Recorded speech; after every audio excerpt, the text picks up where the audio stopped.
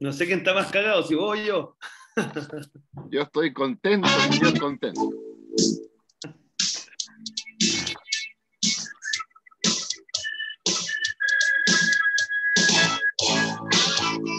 Muy buenas tardes. Día lunes 20 de diciembre, un lunes distinto, porque ya al fin, después de todo un año con tantas idas y vueltas, ya tenemos presidente electo. Ganó por una distancia bastante más holgada de lo que esperaban muchos el candidato Gabriel Boric. Estamos, como siempre, en buenas tardes, San perdón, por los puestos. Le habla Bárbara Briceño junto a Francisco Vidal, diputado de Gochalper. Lo vamos a evaluar todo. Hoy día nos pasamos, no nos importa nada por el tiempo. Francisco, diputado, ¿cómo están? Y yo ¿Cómo contento. una marraqueta esta mañana? yo contento, cansado como piojo, pero contento. Eh, es natural, ¿no? Que uno cuando, cuando gana su candidato esté contento. No, no, no.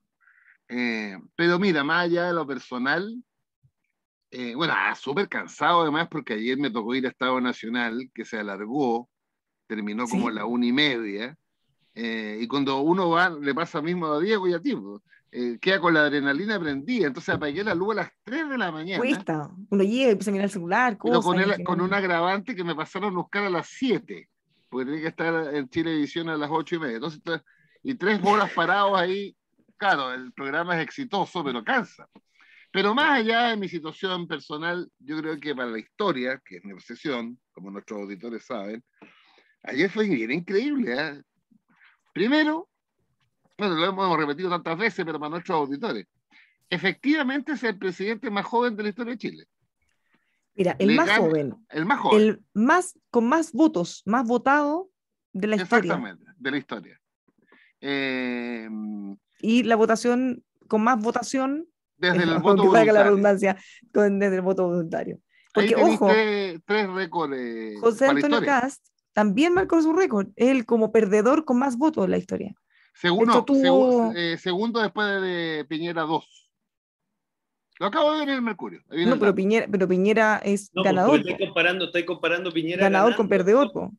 Ah, ya, ok, ok. Por eso, pues, es el, el perdedor con más votos en la historia, porque con la misma cantidad casi de votos, el presidente Claro. Piñera fue presidente. José. Antonio Cast no, no lo alcanzó.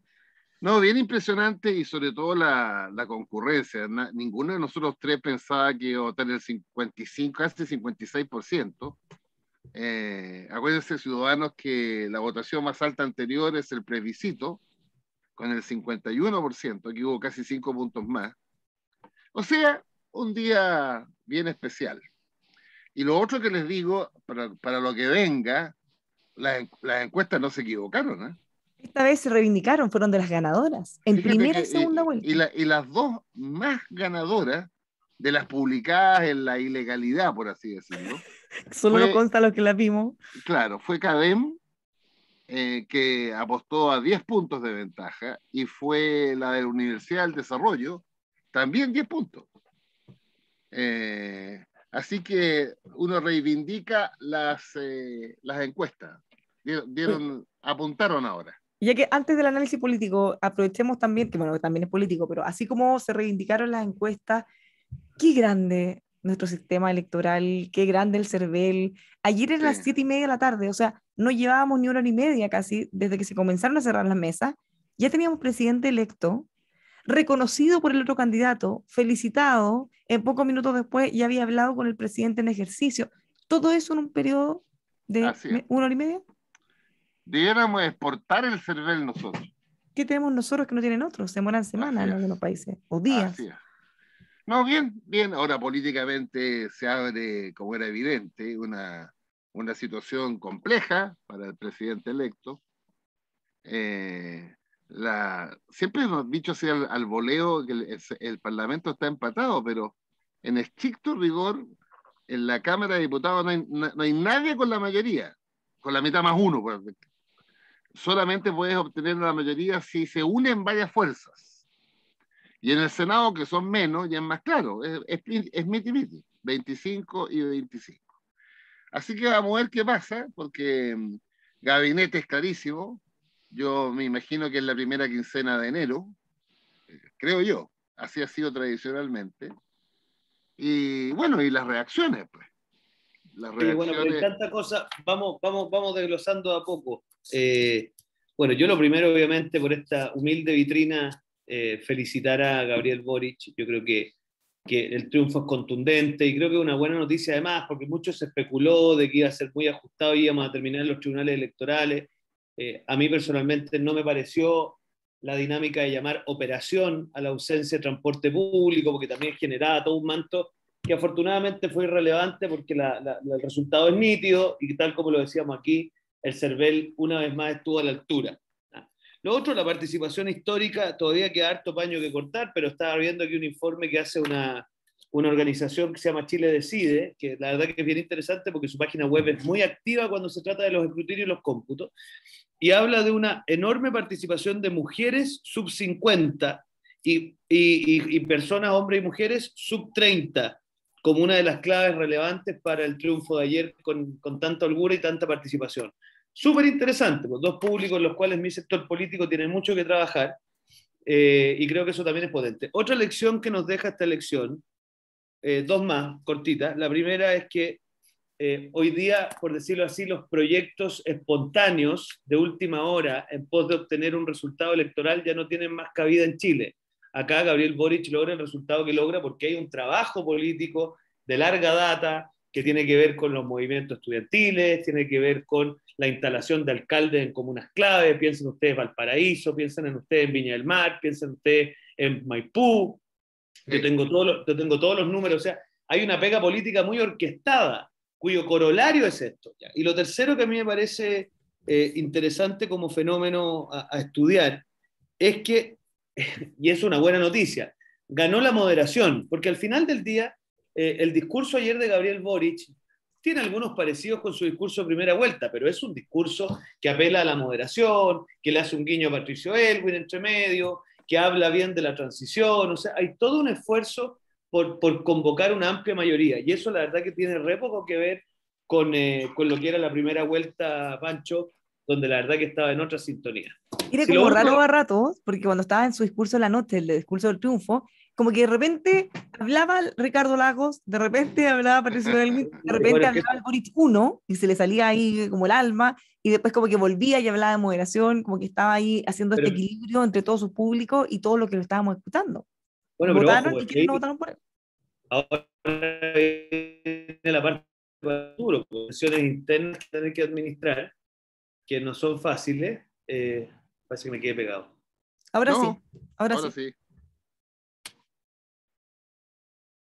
Ahora sí. No, te decía las tensiones, las tensiones internas que va a tener que administrar eh, Gabriel Boric, que no van a ser fáciles. Eh, y obviamente esas tensiones se van a ver expresadas en cosas, se van a ver expresadas en el gabinete que promueve, en las agendas. Sin ir más lejos, hoy día de la tarde le toca votar la prórroga del estado de excepción. ¿Va a ir a votar? ¿No va a ir a votar? ¿Cómo lo va a votar? Todas esas cosas van a estar obviamente arriba del, arriba del naipe. Así es. Bueno, pero mira, de las cosas para aprender, ¿eh? los votos no se traspasan, claramente. El fiasco de París y que se lanzó el día sábado, por, eh, por un... Por redes sociales, como siempre. Claro. Oye, pero ¿cuál era el Stalingrado de París? Antofagasta. Ahí ha ganado. Acabo de verlo en el Mercurio Ciudadano Auditor, viene comuna por comuna, de todo Chile. Voy en Santiago. Bueno, eh, Boris ganó en todas las nueve comunas de la región de Antofagasta. Incluso ganó en el local donde más votos había sacado París. Entonces, otra elección para la historia, pues, ciudadanos.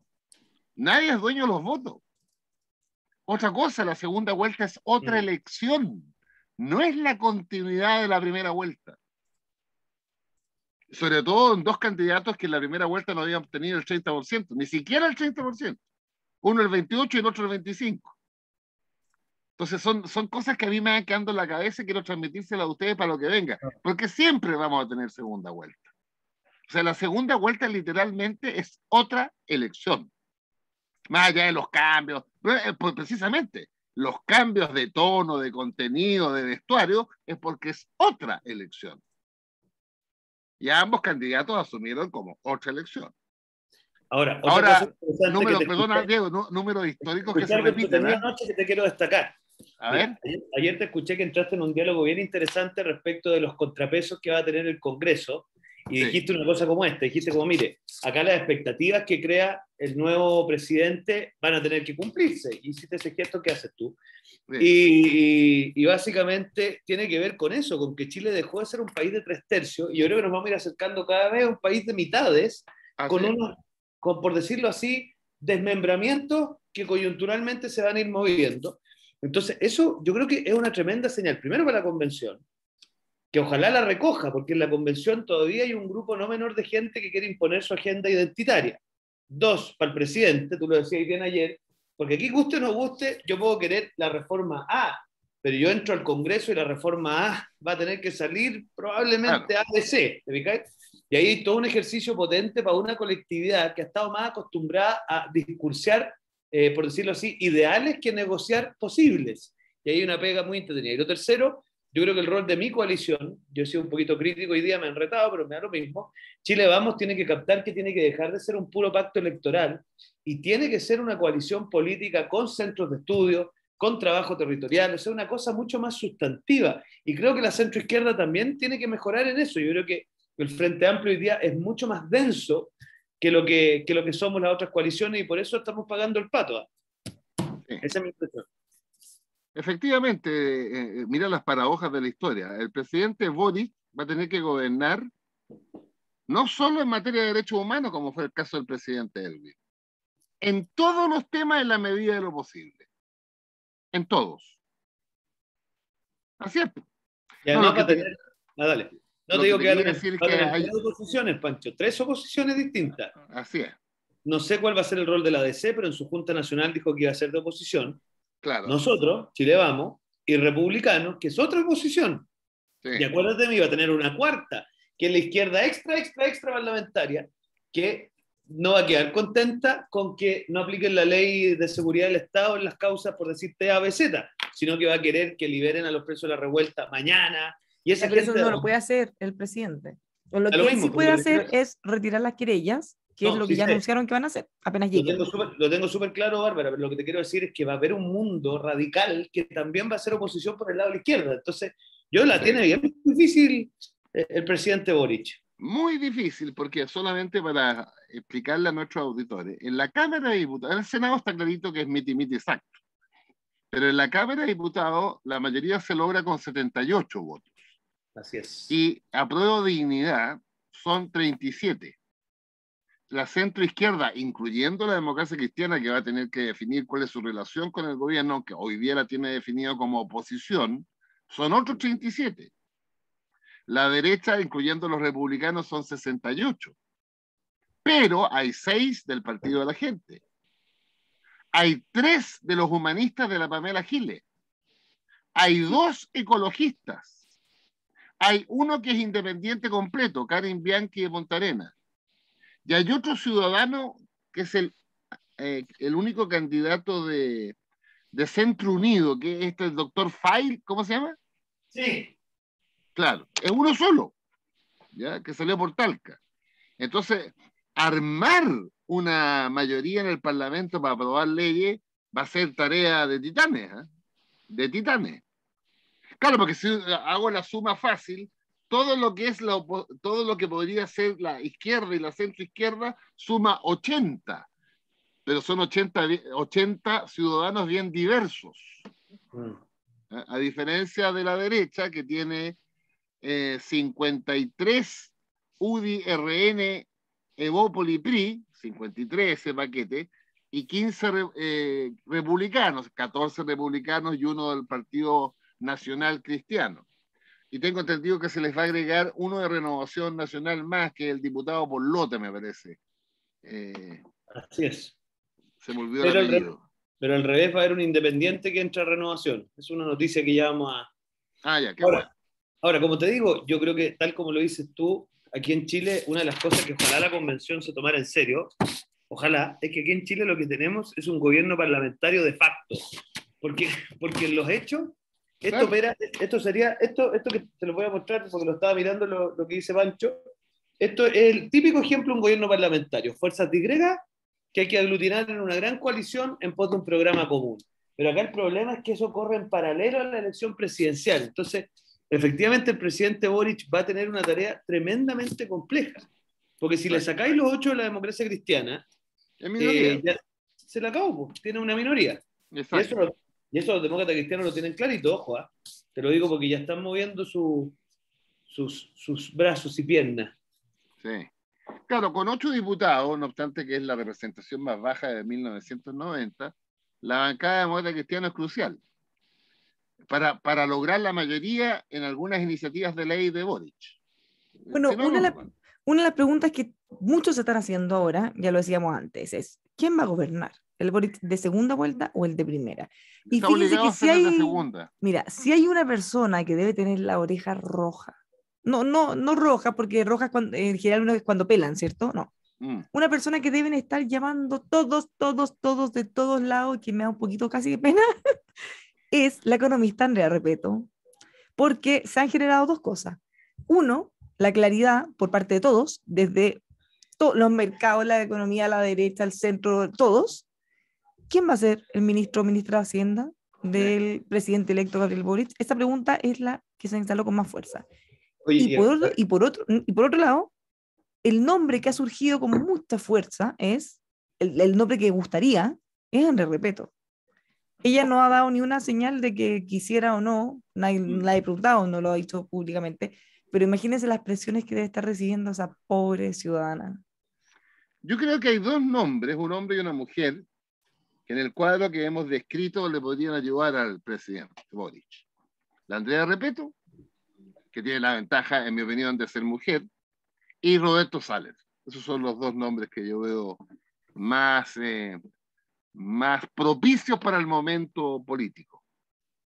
Y eso además, ayuda, además ayudaría a la democracia cristiana ¿eh? a tomar la decisión en, en, la línea de colaboración con el gobierno. Yo creo que si hay dos definiciones que van a ser decidoras de la pregunta que hacías tú, Álvaro, si va a gobernar el Boris de primera o segunda vuelta, son a quién va a poner de ministro de Hacienda y a quién va a poner de ministro del Interior. ¿Ah? Y yo no eso depende de él y depende de su compañero, porque el Partido Comunista va a querer una, un economista, por ejemplo, ligado más al área de concertación y de ese mundo. Qué difícil. Yo, yo, lo encuentro súper difícil porque además, te digo, eh, yo creo que en eso tiene un desafío tremendamente complejo porque de esas señales primeras, o sea, yo tengo la sensación de que nos tiene que sorprender con un nombre, ¿ah? porque pongámoslo como caricaturescamente, si pone a Nicolás Grau, por decirlo así, es el triunfo del Boris de primera vuelta. Y si ponen a Andreas Repeto, es el de segunda vuelta. Y, yo creo que el nivel de, de, disconformidad puede ser inmanejable. Entonces va a tener que salir con un tercer nombre. Y yo creo, acuérdate de mí, que de ministro del Interior, o sea, yo creo que Giorgio Jackson va a terminar de segundo piso. Yo creo que eso le acomoda más, se mueve bien en las conversas fuera de rueda. Y yo tengo la sensación que la Isquia Siches va a jugar un rol más político. O sea, lejos de ser ministra de Salud, que es lo que querrían algunos, va a jugar un rol político. Porque además jugó un rol político decisivo en la segunda vuelta, si hay que reconocerlo. Sí. O sea, ella de las grandes ganadoras también junto al candidato, no solo como en su rol de jefa de campaña, sino de figura. Ella fue, hizo gira y era ovacionada por la gente, ella, además del candidato. No, si eso fue uno de los aciertos más, eso fue uno de los aciertos más claves de la segunda vuelta de Boris. Bueno, en una, en una vez terminamos con la hija Siche de ministro Interior como uno nunca sabe qué puede pasar. Además sería otro récord histórico. el problema, ¿sabéis cuál es? Que tenéis que hacerte cargo de los temas del público y ahí no creo que ella esté muy disponible. Yo la veo más, fíjate, como ministra vocera o eventualmente ministra de Desarrollo Social, o sea, no, pero, pero, no la veo en salud, no, no, me tinca que no va a estar...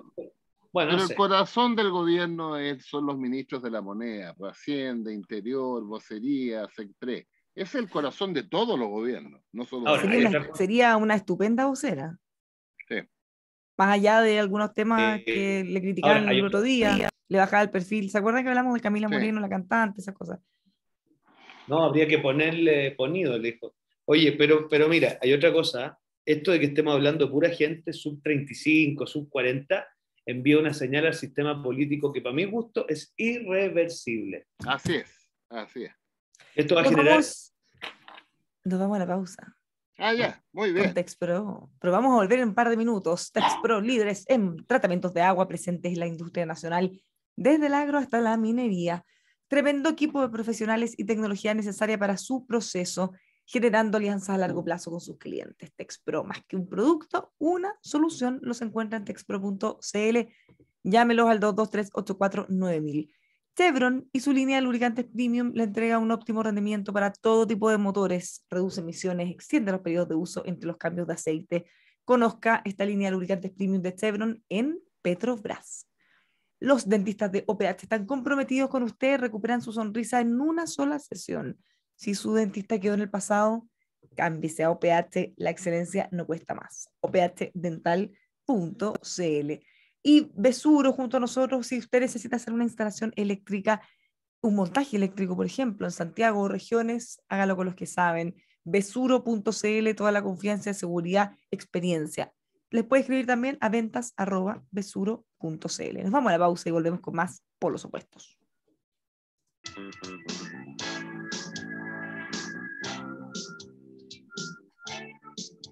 ¿Cómo me escuchan? Ahora que tengo mi teléfono nuevo.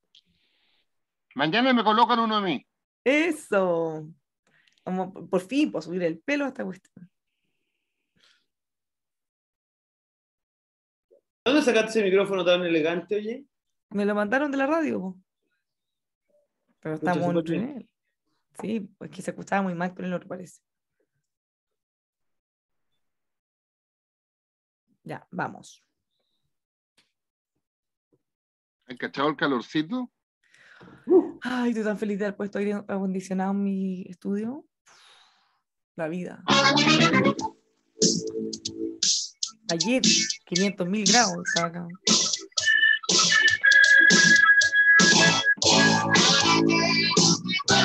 Ya estamos de vuelta, seguimos aquí haciendo polos opuestos. Le habla Bárbara Briseño junto al diputado Diego Chalper y Francisco Vidal. Hemos estado dando una mirada a todas las repercusiones que ha tenido la jornada de ayer, cuáles son los desafíos del nuevo presidente electo.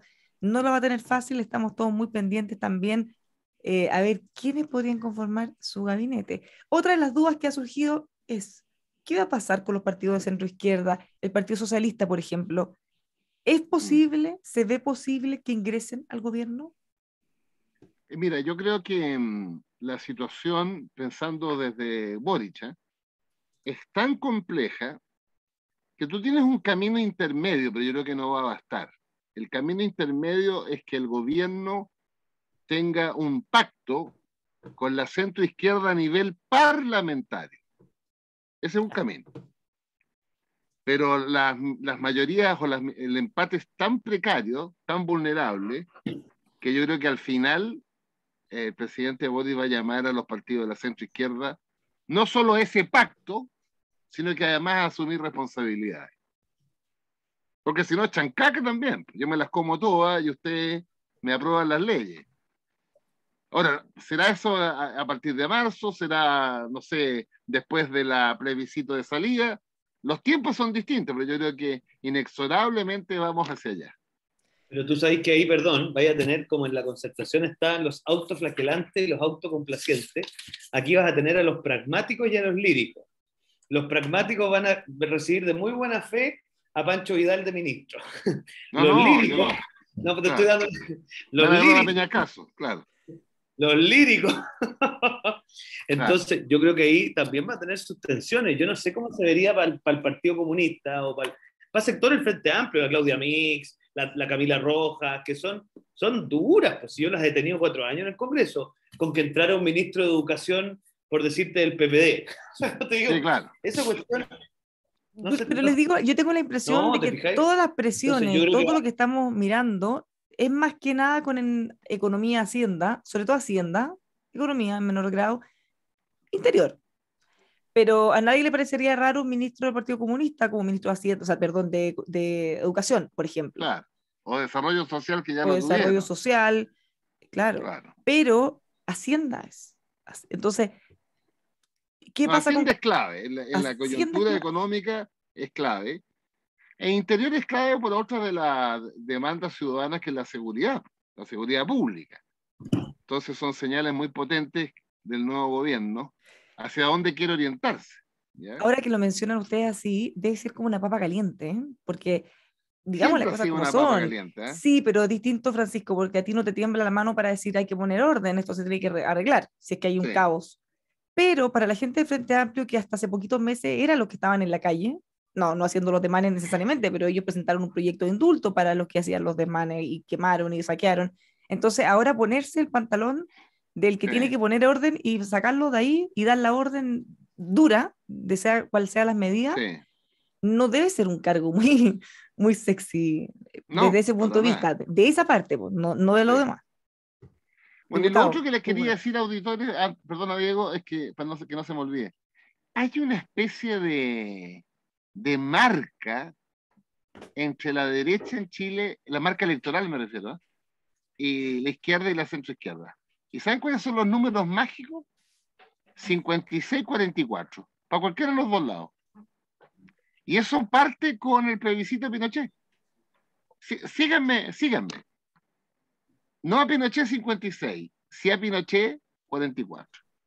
Un año y medio después, Elwin casi 56. La suma de Vigi y de mm, Errázuri, 44. Después nos vamos a Frey, que rompió el esquema, 58, 58 Frey, 31 a la derecha. Eso es una ruptura. Después nos vamos a, Lago, también. Pero para no latear con todo, miren las últimas, la de ayer. 56-44, 55-45, por ahí. Pero la vez anterior, eh, en primera vuelta. Casi el revés, pero Piñera gana casi con los mismos números que Guillermo. Exactamente, en la segunda vuelta. Entonces hay, hay, como una marca electoral que, se, que trasciende las personas incluso. Ahora, la otra gracia que tuvo, lo dije ayer anoche en la televisión, es que... es como medio esotérico, ¿eh? A diferencia de, de, de que no pudo arrastrar tras sí al 56% que no había votado ni por Cas ni por Piñera en primera vuelta, porque les recuerdo, ciudadanos auditores, que la vez anterior el presidente Piñera sacó 86 más 8 de Cas me da 44. Pero ahora, por primera vez, después de mucho tiempo, eh, el mensaje de Bori logró literalmente que casi toda la izquierda y la centroizquierda se pusiera detrás de él, que le permite llegar casi a 56. Pero es, como una marca ¿eh? en el tiempo, que aparece y desaparece, pero se permanece. pero eso demuestra que pues, si uno tuviera que ver más o menos, si dijera Chile es de izquierda o de derecha, o de que eh, mayoritariamente desde hace muchas décadas, Chile es mayoritariamente centro-izquierda. Claro, más, eh, eh, más, hacia ese lado que hacia el otro. Más hacia la centro-izquierda que la izquierda, por lejos. Pero circunstancialmente han elegido presidentes de derecha porque está más o menos en, en ese rango del 55%. no uno, o sea, porque la gente se quedó con el, mucha gente se quedó con el plebiscito y creyó que esa era la foto de Chile. Bueno, pero sí, Como si el 80% fuera gente de izquierda o de ultra izquierda. Sí. Para mí, para mí, además del triunfo de Boris, la que hay que analizarlo y todo. Eh, yo creo que el hecho de que tengamos un parlamento empatado prácticamente no estaba en los registros de nadie de la izquierda. La verdad es que pensaban que se replicaba el escenario de mayo y que aquí básicamente iban a sacar tres de tres. Convención constitucional, presidente de la República y parlamento. Y con eso venía la revolución bolivariana. o sea, no, la, la revolución latinoamericana. Entonces, yo creo que eso no corre ya. O sea, yo creo que otro de los grandes derrotados de anoche por el discurso de Boric y porque con todo el candidato de, digámoslo así, los sectores más tradicionales de la derecha, igual alcanza un 44% de los votos. Eh, entonces, yo creo que, que Chile en eso, eh, es un país bien, bien difícil de anticipar. ¿ah? Yo creo que en eso nos distinguimos mucho de nuestros colegas de otros países vecinos, que son, por decirlo así, eh, no sé cómo decirlo, más ávidos a cambios más abruptos. Chile es un país moderado, no le gustan las cosas tan refundacionales. Yo creo que el resultado parlamentario tiene que ver con un rechazo al ímpetu absolutamente desbordado de la Convención Constitucional. Entonces, yo espero que el candidato, el presidente Boric, digo, acuse recibo de que la mitad de Chile no cree los proyectos refundacionales de parte su, de su base de apoyo y que entienda que gobernar requiere ciertas dosis de conversación, de diálogo, yo creo que hay algunos sectores que dentro de su coalición le van a estar diciendo y aprovechemos la coyuntura y echémosle para adelante desde la Convención Constitucional y aprovechemos de echar abajo el Senado. Eso va a existir y ahí es donde Boric va a quedar puesto a prueba.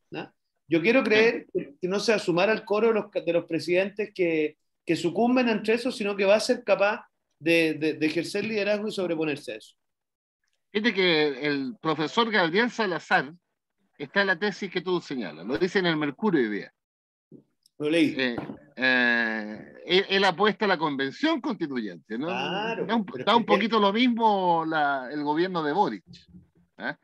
Ahora, mi impresión es que si se maneja bien el gobierno de Boric, persuada a la convención que salga una cosa no maximalista, no radicalizada, que le permita ganar el apruebo en el plebiscito obligatorio del 4 de septiembre del próximo año, y bueno, y ahí el país ya cierra un capítulo enorme, que es una nueva constitución. Pero, tú estás de acuerdo conmigo, Pancho, que si esa constitución, el apruebo, gana con un 52%, es un fracaso total. Porque si la, apuesta, de las constituciones no es que estén sujetas al vaivén político, ¿te fijáis? Sino que, que duren al menos 30 años. Entonces, la aspiración de alguien razonable debiese ser que esa constitución al menos alcance, no sé, del orden del 70% de apoyo que caiga 10 puntos desde la prueba rechazo, ya, pero no que caiga 30. Entonces, yo en eso creo que hay algunos que están pegándose esa cachada, pero hay otros que siguen eh, la fantasía de la... De la Lo que pasa es que, a ver, digamos las cosas como son. La constitución actual tiene mucho de una carga ideológica específica de sus redactores. ¿ah? Y yo tengo la sensación de que aquí hay algunos que también con un poquito de ego académico también quieren imprimirle, o sea, que pasemos de la constitución de Guzmán a la constitución de Baza Atria. Y eso le hace mal a Chile. Ellos tienen que entender que la tarea no es que la constitución sea una especie de cancha inclinada, sino que ojalá sea una cosa que permita el vaivén político de la manera más razonable posible. Así lo estoy viendo. Y creo que en eso Boric la va a tener difícil, porque va a tener tironeos permanentes dentro de su gobierno. Bueno, pero este hombre lleva un día de presidente electo. Imagínate la cantidad de cosas que le hemos transmitido. hay, una, hay una cosa que dijo el presidente Piñera y que le encontré tanta razón. Casi me dio pena, porque le dijo, disfruta estos días antes de asumir, porque son los días más felices, los más fáciles. bueno, el, el máximo poder de un presidente que gana una elección es mientras es presidente electo. Sí, porque tiene solo no es el 11 de marzo. Claro. Entre ayer y el 10 de marzo. Este es el periodo más fácil o más cómodo o, con menos problemas. bueno, el más feliz. ojo, ah, ojo, aquí hay otra particularidad que no sé si había ocurrido Pancho me quizá había, pero Gabriel sigue siendo diputado. Entonces, además va a tener que enviar señales a través de sus votaciones. Mira, hoy día nos toca la prórroga del estado de excepción. ¿Qué va a pasar con el retiro del 10% de la Pamela Giles? ¿Qué posición va a tomar ahora que le va a tocar a él administrar el desfonde de los fondos previsionales? Ya, pero le queda, le queda un mes nomás, pues porque en febrero no, no, trabajan o están fuera. un mes y medio y seguimos trabajando en nuestros distritos, oiga, pero... estamos a 20 y está la vida de año nuevo entre medio. Sí, un mes y una semana. Sí, ah, no, y los días de marzo también. Pues, han habido presidentes electos que eran senadores. El presidente Allende. El presidente Frei Montalva. ¿Ya? Entonces, bueno, yo creo que en ese caso lo mejor es, eh, eh, precisamente para no asociar una ley específica al presidente electo, es mejor que, bueno, no sé lo que hizo el presidente Allende en el presidente Frey, no me acuerdo. Eh, es sencillamente, yo me en el Parlamento, ¿no? Así de simple. No, no es que renuncie porque no puede renunciar. No asiste. Aunque le cobren la multa y todo lo demás, porque tiene razón, Diego. Eh, distintos proyectos de ley de cualquier naturaleza está votando, no un diputado, está votando el presidente de la República.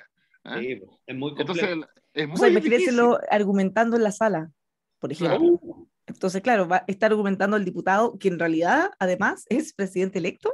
Es, fregado, ¿eh? No había pensado en ese detalle. Ah. Imagínate un, discurso encendido en calidad de diputado, pero todos sabemos que es presidente electo. Oye, y en mi sector también hay tensiones, po. Eh, yo soy del segundo equipo, lo anticipo. Hay algunos que quieren sacarlo al pizarrón. Yo creo, no, señores, aquí ya Chile decidió, hay que cuidar las instituciones y el presidente electo es alguien que hay que cuidar. O sea, ya nos tapa el vaivén cotidiano allá de la Cámara. Pero hay unos que quieren, no, mira, hagamos una comisión de investigadores. Yo creo que en esas cosas no estoy disponible yo a hacer la oposición que nos tocó vivir a nosotros. Eh, yo de verdad no lo creo, sí. Es que ese es otro punto, eh, diputado, porque algunos dicen necesitamos que todos pongan de su parte, que sean constructivos, la oposición constructiva pero del gobierno se han quejado que han tenido la peor oposición de la vida, una cantidad de acusaciones constitucionales, interpelaciones, le han negado la sal y el aceite y el agua y todo. Entonces, ¿será tan fácil dar vuelta a la página y decir, y ahora nosotros vamos a ser lo más constructivos de todo? Es que eso depende de, los liderazgos que tú tengas. Pues yo no creo que lo central, a ver, yo creo que algo que dejó claro ayer es que ni el miedo ni la revancha ganan elecciones. Lo que ganan elecciones son los proyectos de futuro que generan esperanza y movilización. Y en eso mi sector político, y aquí hubo de los dos lados campañas del terror, porque estaba el cuco comunista, pero también estaba el cuco fascista. ¿ah? Y yo creo que eso ya, ya dejó de ser determinante en Chile. Lo que hace ganar a Boric con ese nivel de, de votación es que logró empatizar con un proyecto de esperanza que también para él va a ser una dificultad, tiene unas expectativas inmensas que cumplir. Por eso que tiene que priorizar. Se, no puede hacer cinco reformas estructurales simultáneas. Yo, yo creo que si yo estuviera en su pellejo, empezaría, priorizaría, eso es priorizar, salud y pensiones. Eh, y lo demás no, no, guardarlo, porque sería una estafa, pues, pero llevarlo a un ritmo más lento. Colocaría la energía en salud y pensiones, que por lo demás coincide con, la, con, las tres principales demandas de, los, de la sociedad. Pero además va a tener que partir con la, con la reforma tributaria que prometió. Bueno, que si no, no puede hacer ninguna de las otras dos cosas.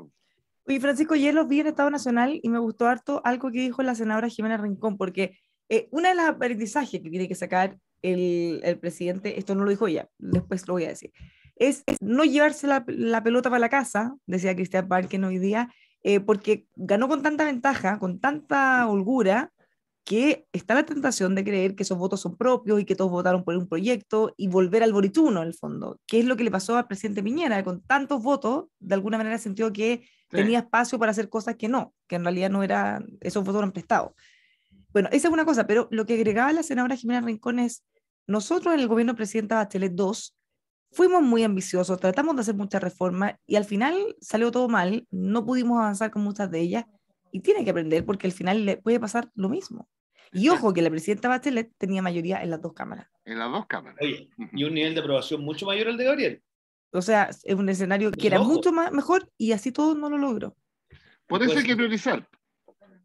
Y, comunicar mucho, comunicarle a, la ciudadanía día por medio. Mientras estamos haciendo esto, por esto, requerimos estos recursos, este es el proyecto.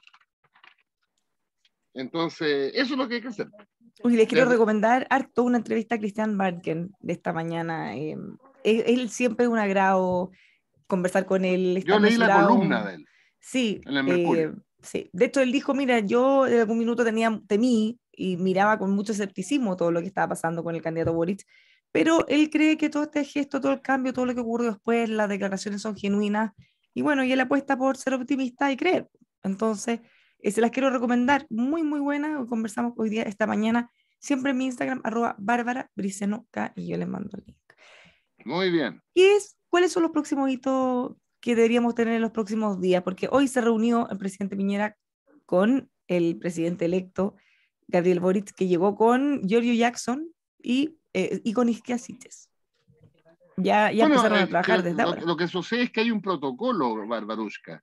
Entonces yo creo que en los próximos días todas las autoridades del Estado visitan al presidente electo.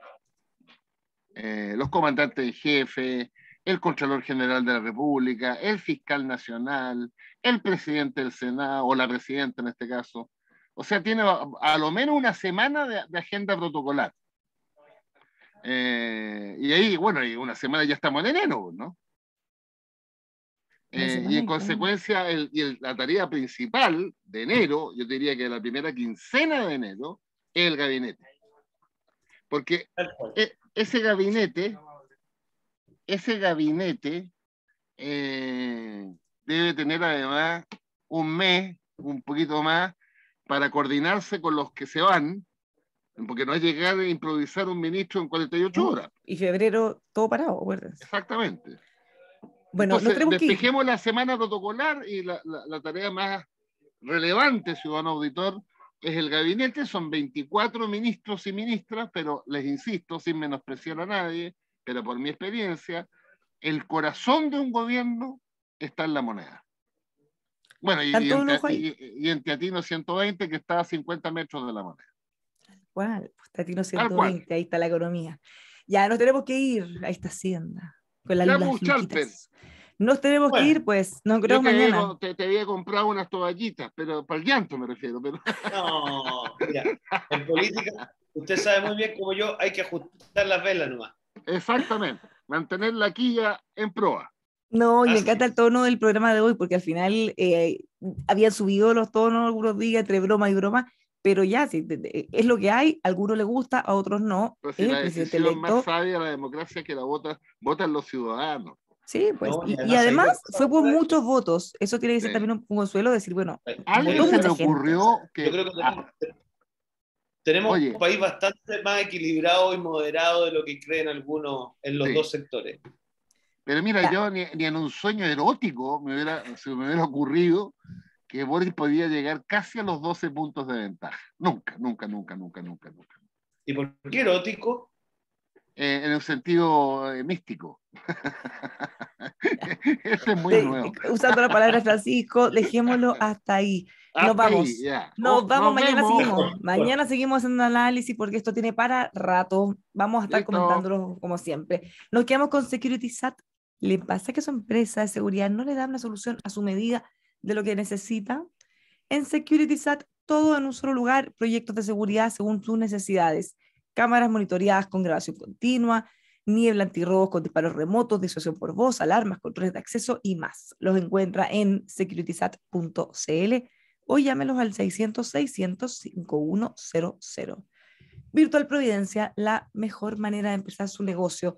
Reciba correspondencia, llamados telefónicos a su nombre, agenda reuniones con salas climatizadas, con eh, oficina secretaria virtual, domicilio tributario, todo lo que necesita para una oficina virtual encuéntrenlos en virtualprovidencia.cl. Veracruz, una tienda única donde va a encontrar en un solo lugar ropa, decoración y regalos originales. Sígalo en sus redes sociales, conózcalos en veracruz.cl. Y cerramos hoy con Vita Clinic, clínica especialista en dermatología, medicina, estética, terapia celular. Su principal misión es mejorar la calidad de vida de las personas. Tienen terapia eh, rejuvenecimiento, para la caída del cabello, cirugía estética y mucho más. Conózcalos en vitaclinic.cl. Todas sus preguntas en WhatsApp 569 4085 5194. Que tengan una muy, muy buena tarde. Muchas gracias por acompañarnos. Los dejamos invitados a seguir en Radio El Conquistador para todo Chile. Thanks.